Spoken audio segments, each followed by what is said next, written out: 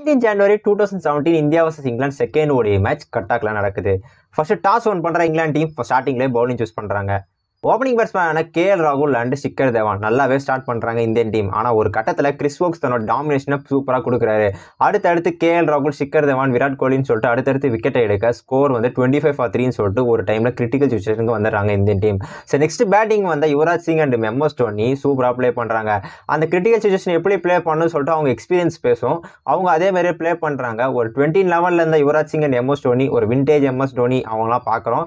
நல்லாவே ப்ளே பண்ணுறாங்க சிக்ஸஸ் ஃபோரை சொல்லிட்டு கண்டினியூஸாக பிறந்து கட்டுறாங்க. ஒன்றுமே பண்ண முடியல. English பவுலர்ஸால் Liam Plunkett David Willey Chris Woakes யாராலையும் ஒன்றும் பண்ண முடியல. அவங்க கண்டினியூஸாக ப்ளே பண்ணி ஸ்கோரை வந்து நல்லாவே ஒரு பொசிஷனுக்கு கொண்டு வராங்க.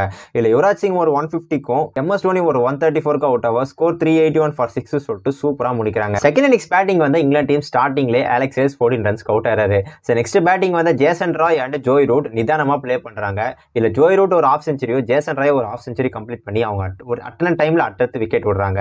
நெக்ஸ்ட் பேட்டிங் வந்த பென் ஸ்டோக்ஸ் பட்டர்லாம் ஒரு சைடு அவுட் ஆனாலும் இயன் மார்கன் கேப்டனாக தன்னுடைய ரெஸ்பான்சிபிலிட்டியை புரிஞ்சுட்டு சூப்பராக ப்ளே பண்ணுறாரு இந்த மேட்ச் வந்து நம்ம தோத்தாலும் பரவாயில்ல ஒரு ட்ரையாவது பண்ணோமேன்னு சொல்லிட்டு கடைசி வரைக்கும் போராடுறாரு.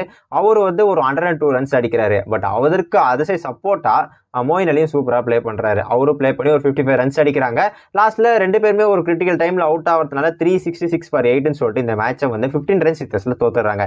என்னதான் இந்த மேட்ச் தோத்தாலும் ஏன் மார்கனோட அந்த ஜெயிக்கணும் ட்ரையாவது பண்ணணும்னு சொல்கிற ஆட்டிடியூட் எனக்கு இந்த மேட்ச்சில் ரொம்ப பிடிச்சிருந்தது.